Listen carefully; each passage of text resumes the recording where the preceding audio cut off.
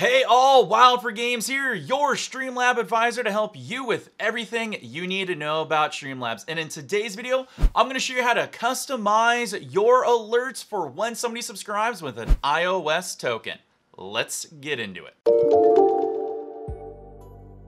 A recent addition to Twitch's platform is the introduction of iOS tokens, which allows you, the viewer, to subscribe to your favorite Twitch affiliate or partner through the Twitch iOS mobile app. And just like we do here at Streamlabs, we're making it better for you by giving you the ability to add variations to your alerts for iOS subtokens. To edit your alerts, first head to the alert box setting in your dashboard and click on the subscriptions tab. To customize your iOS iOS subtoken alerts, scroll all the way down and add a variation. You can choose to edit the current alert box setting, or you can start brand new by using the default settings. After you select which setting you'd like to add a variation to, add a new condition and select when a user extends their subscription using sub tokens. After you've customized the setting to your preference, simply click and save and you will see your new variation appear. Adding alert variations is that extra little flair that you get to add to your stream that separates it out from the masses.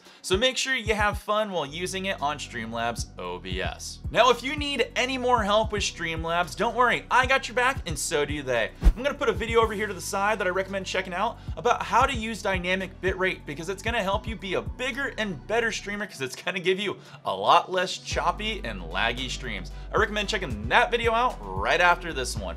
Once again, my name is Wild4Games, and I will see all of you beautiful people in the next Streamlabs video coming up real soon. Take care all, and peace!